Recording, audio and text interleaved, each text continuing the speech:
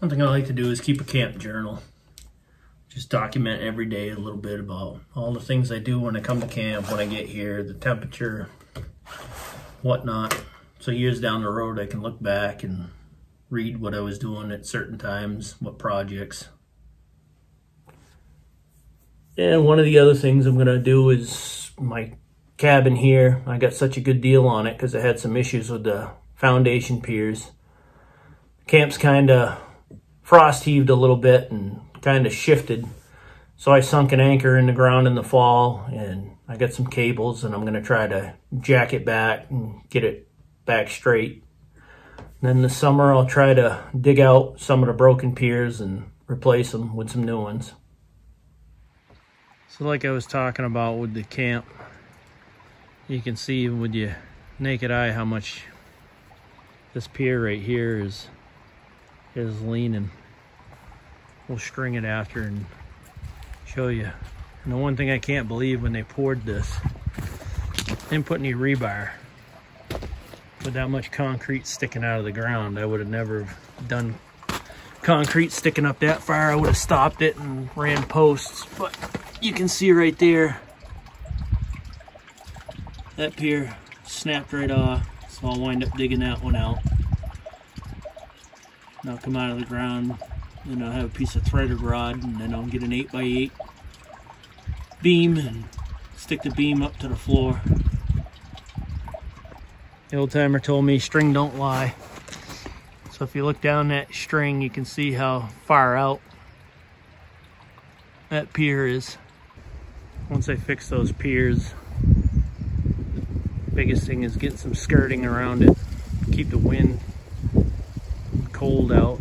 So hopefully the frost doesn't go as deep. Maybe I can find some old construction frost blankets that are ripped and cheap money and I can lay them all over the ground to help keep the ground from letting the frost run too deep during the winter. Jacked on those cables and cranked them up. I was able to move it a little bit. Not much to be very significant. But looking at it, I think what I'm going to wind up doing so I'll crib this back corner, jack it up. I'm gonna dig down beside that pier and I'm gonna move it over till it's straight. Once I get that one done, I'll just slowly do each one. So I brought up a load of posts, old telephone poles that I'm gonna use to build my outdoor shed and shower.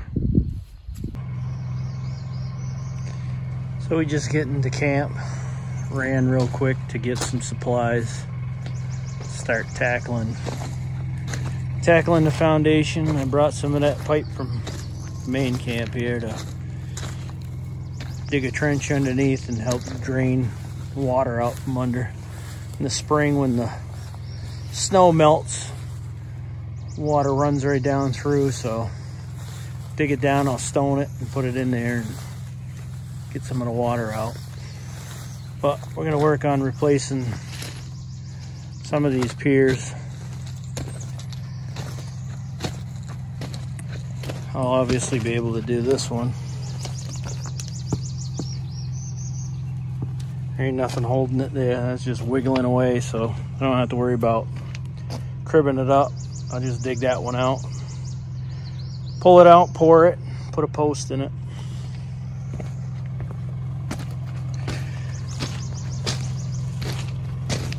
It's already five o'clock now, so ain't gonna get too involved with that. Instead, I think I'll jump on the mower and start mowing. One other project that I gotta do.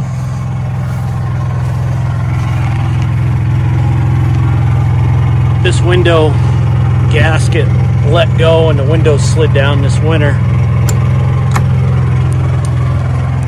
And I had water come in and of course, the uh, particle board got wet like a sponge. Why they use that stuff is beyond me. It's crap. So I cut this up. Pretty much the wood's good back into here.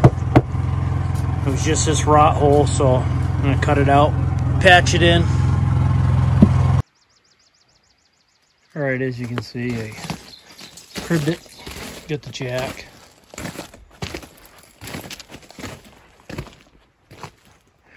Cribbed the jack. String don't lie, that baby's leaning. I didn't want to undermine, dig down. I don't know how deep these piers go in the ground, so I'm gonna dig down beside this. I didn't want to do it without supporting it. Well, I dug down, found the issue.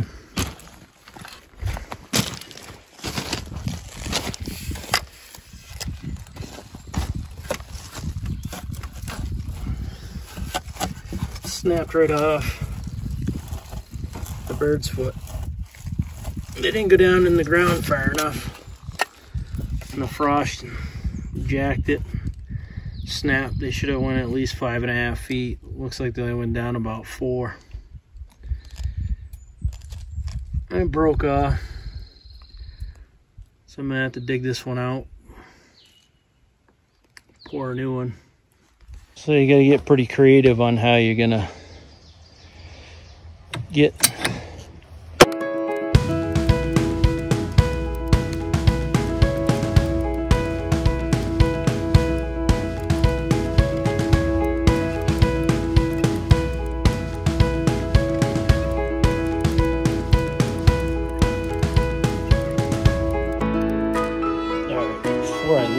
gonna get a strap around that.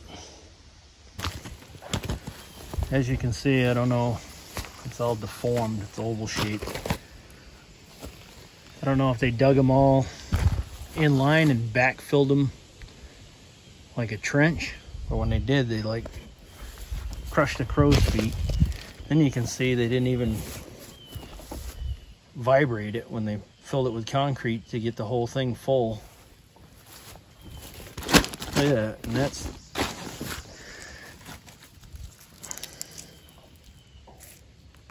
just crappy concrete.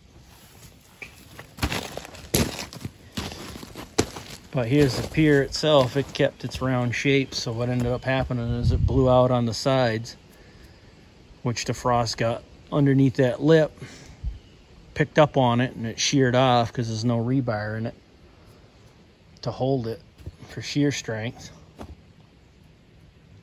I'm sure it's not required by code, but for peace of mind, I would have put it in there.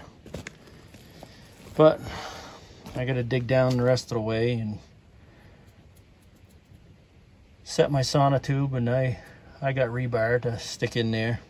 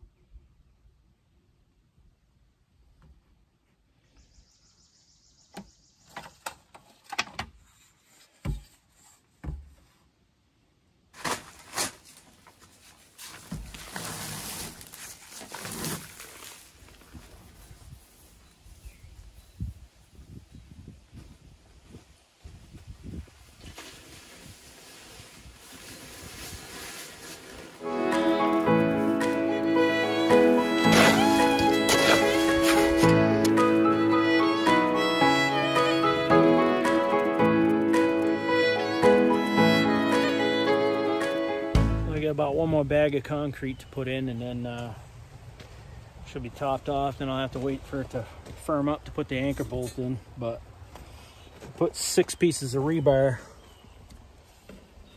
down in there. It's soupy right now.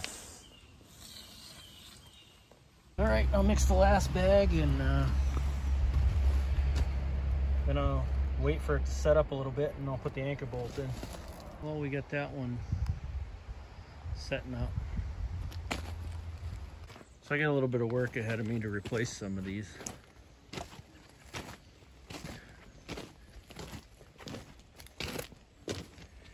The other piece is just barely a foot down and I'm sure it's only about another three feet in from there. All right, so last night I pulled out this pier, dragged it out of the way. Can see it sheared off. Why you'd pour concrete out of the ground that far without, you can see I got some rebar leaned against there, just throw a couple sticks of rebar in it for shear strength. I don't know if the people did it themselves or one of the contractors that they hired did it. But that's the reason why I got such a good deal on this place. It had some foundation issues. You know, you can see this. This one here got frost jacked pushed that way. That one's pushed the other way. We've dug out, dug down anyway. There's the uh, bottom of the crow's foot, a plastic thing. So just to show you, dirt's right about here on the handle for the ground level.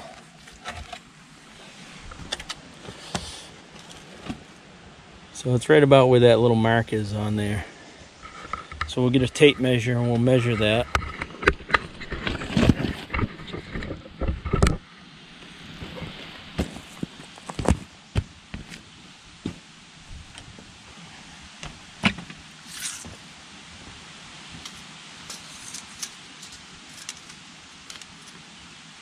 All right, it was in the ground three foot six.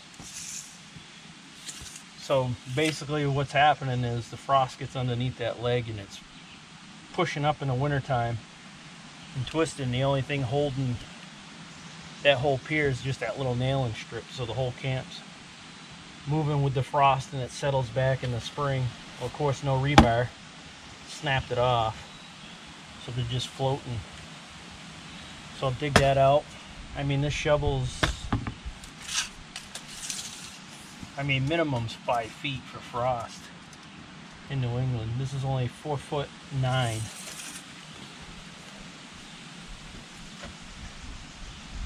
And we're not even, not even at that. I'm gonna sink it in at least five and a half feet. The first pier that I dug out, you can see the piss poor quality the job. Obviously they didn't have a vibrator or anything to make sure all the concrete got down. But you can see right here and right here, ice and frost can get in there and grab a hold of it and start pushing up because it's not smooth. So I'm gonna chuck that in the woods and all right. So I just stuck this back in the hole to show you. This is a six foot sonotube. So all I did was just stick a sonotube in there on a footing. And then minimum, minimum code. Frost depth for Vermont for setting a sonotube.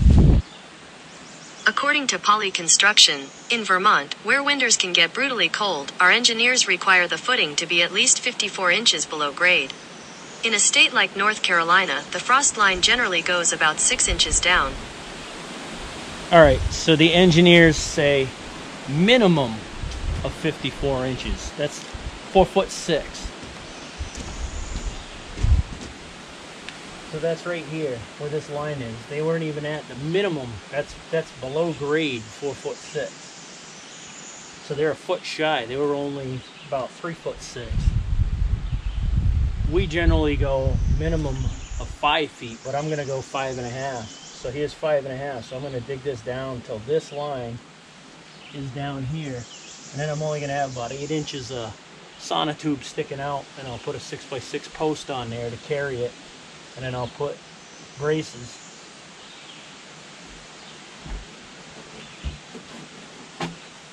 But that's a six foot sonotube. Alright, gonna start mixing some concrete. Doing it all by hand. To bump the strength up a little bit, I got a bag of Portland. I'm gonna cut Portland cement in with every bit of it. Increase the strength. Plus, like I said, I'll be putting some rebar, three pieces of rebar in there for shear strength. Be putting those in. And I'm going to mix it a little wet. So I make sure I get a nice solid column and not little pucker marks in there for the frost to grab a hold of in the frost jacket. So I'll get mixing.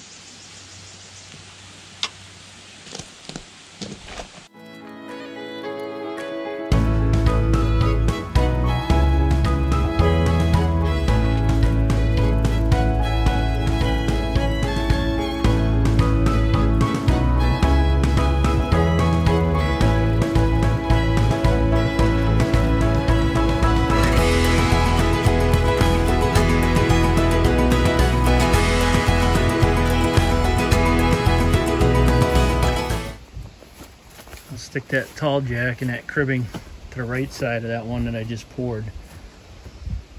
Because this, this end of the camp's going to come up a little bit. So I'll jack up pressure on that. That way that'll be set for cutting my 6x6 tomorrow. I'm putting that in. Then I'll work on digging that one out. Get that one out. That one's kind of critical to make sure it's done right. It's a corner, carries a lot of load.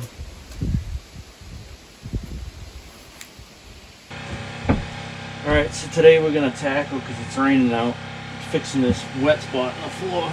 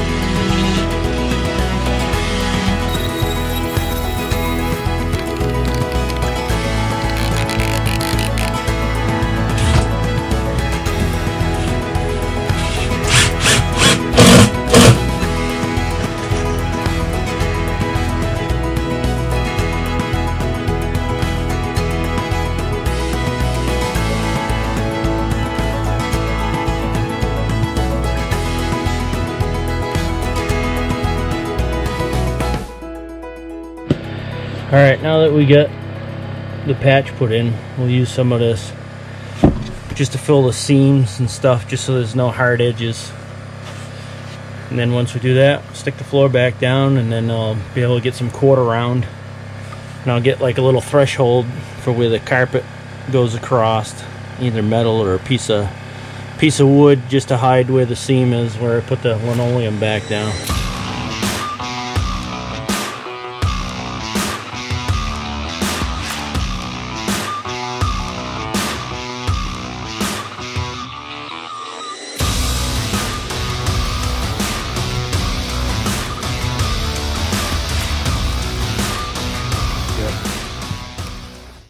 Put in. I put some leveling compound around there. So it should hide the seam. I'll wash up that moldy mess with a little bit of bleach. After this dries, before I tack it back down, I'll stick it in there and then I'll run quarter round and I'll get a little piece of threshold for right there with the carpet and stuff and then another piece of quarter round coming down to the door. And then it'll be like nobody was ever in there. And it all started because sometime during the winter the gasket in the window let go. The window fell down to about here. It was inside the door. And water was pouring in following the door down went in the floor and I had it tarped so it wasn't pouring in but there was enough to to leak in there and rot the floor. You know. So I cut it back to good wood and patched it in. So I get the floor dried. Get it tacked back down. Put some staples along the edge of the couch for now until I get a piece of quarter quarter around to go right along there and then I'll get a little threshold piece to cover where the carpet and linoleum is because I tacked it down there with staples. And then it'll be all all complete. But no more rot hopefully the window stays the way it is and don't leak. And I washed that backside of that linoleum to get the mold off with bleach, kill it. All right, so one of the other projects I'm gonna take care of is I put my well tank on an extension cord. So during the wintertime, I take it, break it down, and I bring it inside I got a union on that side on the water line coming in. And then I got two unions here. I just disconnect it, drain, well, drain the whole system, disconnect it. Then I take it inside because the first year I didn't, you can see the bottom of the base here. Those light blue marks are, the frost heaved and pushed it up into the floor joist and you can see the little kiss mark on the right hand side. Or grab the floor joist. So to avoid that, now I take it inside for the winter. I drain it because I don't run the water because obviously it freezes. I don't have a basement. So I'm going to put some spade bits on here when I was here last time. I thought I had some here, but didn't. I just put the stranded wire, wrapped it around the nuts, and it works, but I'm going to neaten it up, put the spade bits on it. So that goes to show you how much the frost in New England heaves. Where it pushed that all the way up in there and crushed it. All right, you can see uh, I wrapped that project up, neatened it up. I want to make sure I do stuff so it's not all hacked up in case something happens to me and my wife has to sell this place. I bought it more or less as an investment like I said, as you can see, that pier, there's weight on it, but it's snapped right off because it didn't go in far enough. That one is cracked. You can see right at the ground level, there's a line going across it. That one's snapped and that one's busted right off. They put a piece of wood on it. So that's what drove most people away from buying this place. Was as soon as they saw those foundation issues, they just backed away. But I knew with a little bit of work that I could fix it up. I mean, I could hire somebody to come take care of it, but I'll do it myself. Take me a little time.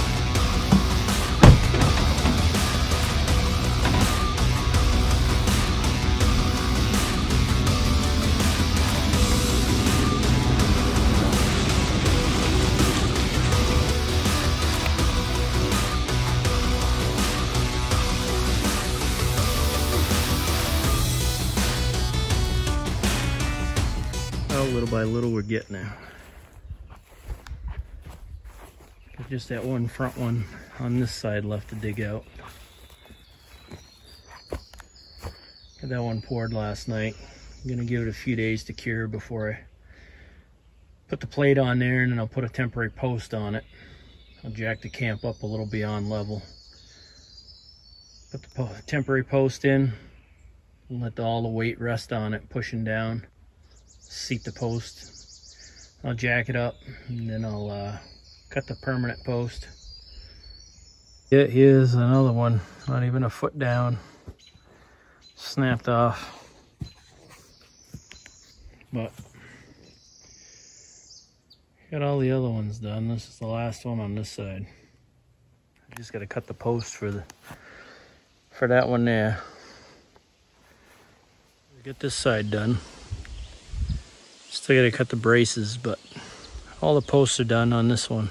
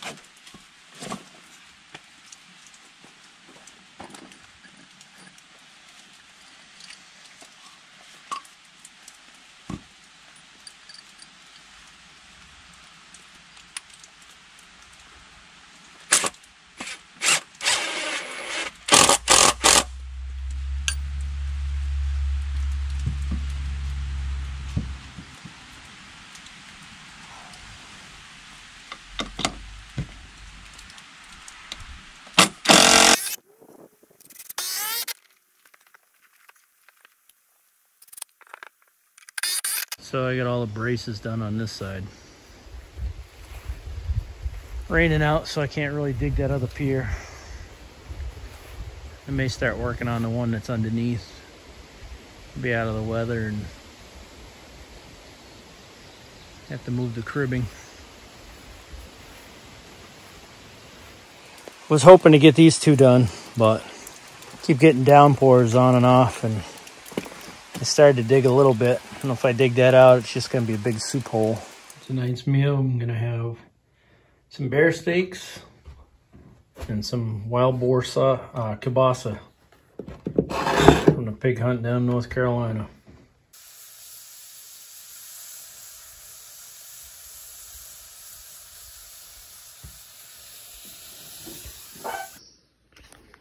All right, here's yet another one digging out. I'm sitting on my butt. Here's my knee, my foot. This is how far down it is. And you can see it move and it's snap right off the bases, right under it. Not even, it's not even three feet in the ground.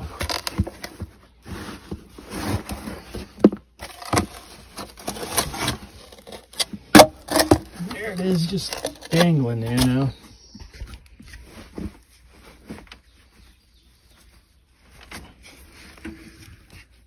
And the base is right here.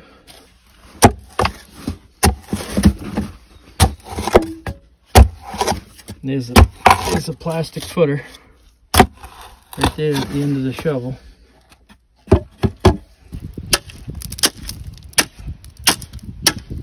Not even hitting this that hard.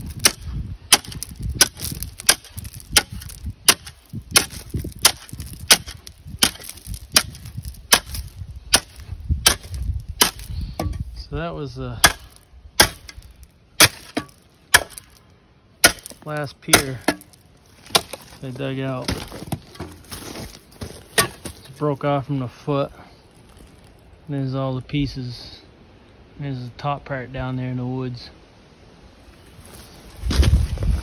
I dug down another two feet beyond where those were. I'll get this one poured.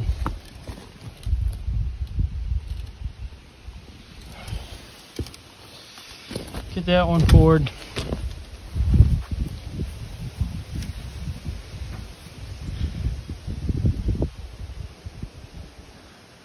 We got quite a few more to go. Can't figure out for the life of me how this camp hasn't fallen over.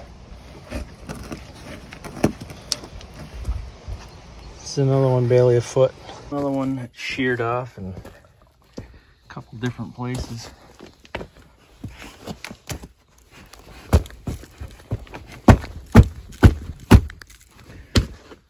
That one's broke off a couple feet down.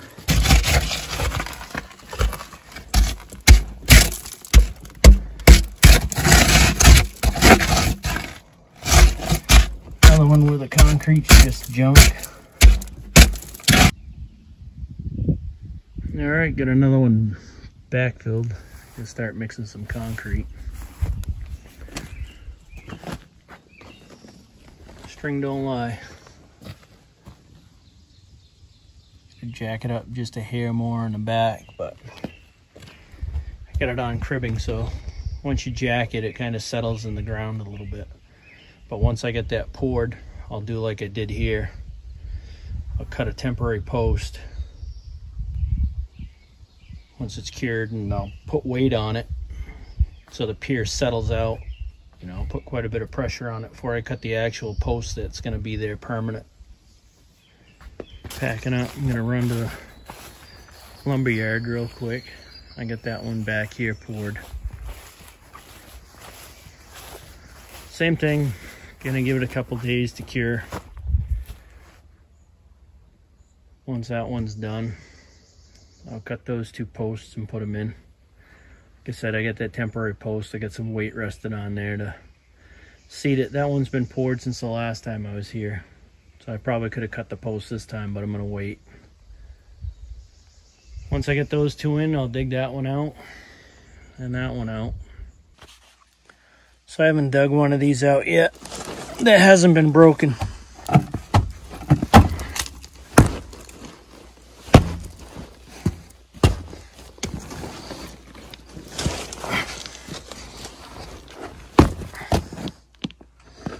Guess I'm gonna have to jack this up.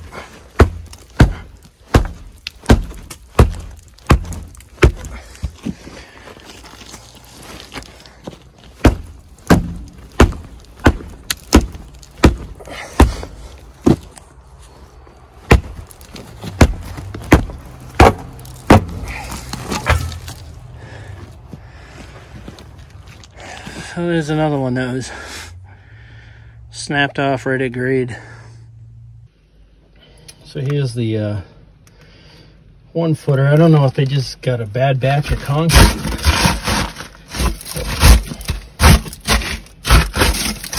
Concrete shouldn't come apart like that. Look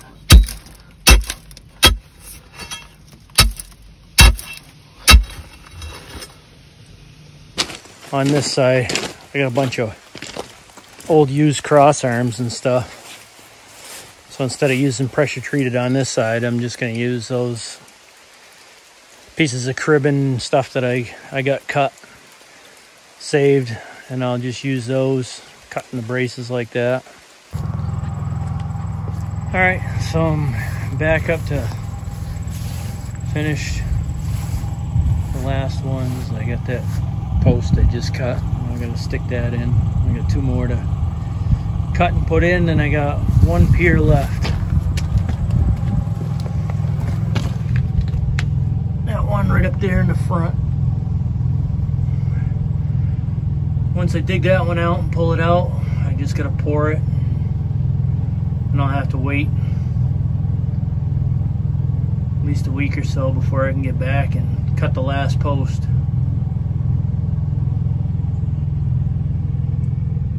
but those ones are set up so I just gotta put the post plates on put the posts in.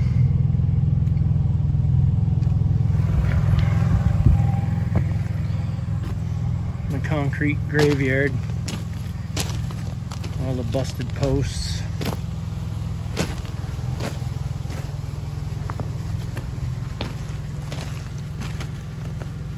So I'm gonna have a guy come, I gonna run a machine, he's gonna dig a hole over there and bury all the concrete.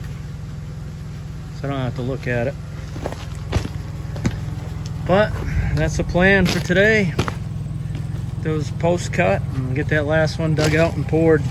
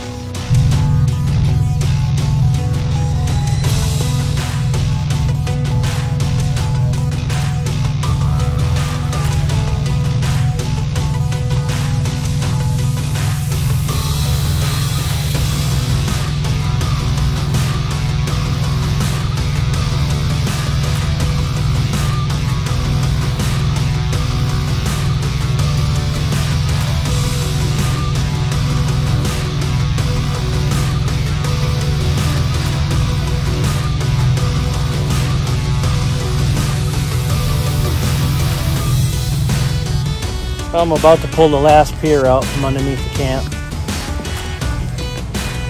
Gotta say, it's a bittersweet end to this job. Not fun digging out underneath.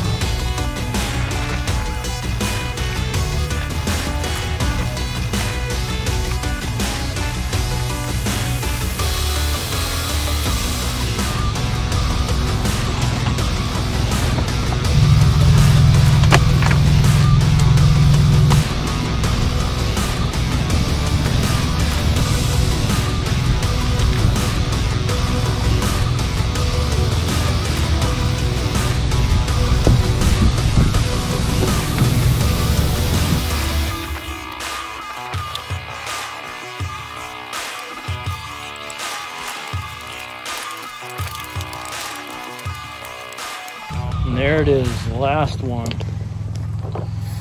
The only three that weren't broken. And they were all in the ground barely three feet, not even.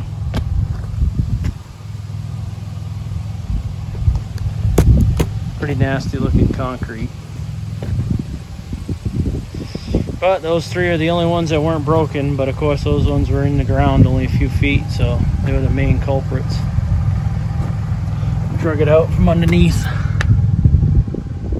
There's a hole. Now I gotta dig down the rest of the way and put my sonotube in, fill it, and then I'll wait a week or two and come back and put the last post in and I will be done.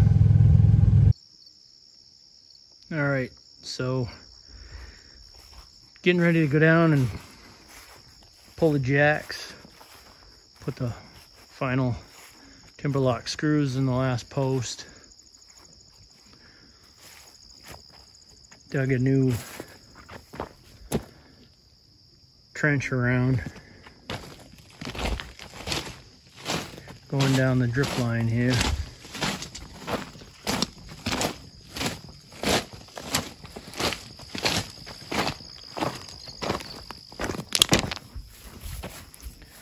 Get the pipe coming out there. It's up through there. We get this pipe. It's a couple feet short and just use a piece of PVC to lengthen it. And then buried all those concrete piers. So this is the last post under here to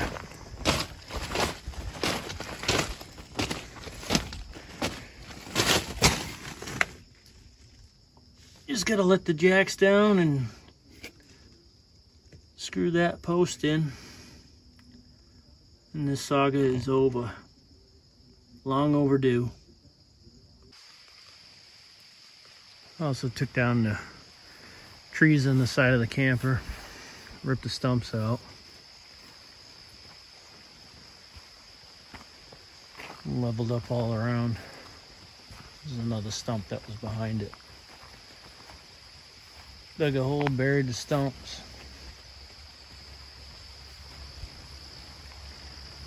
Leveled up around the well where the well settled after it dug it.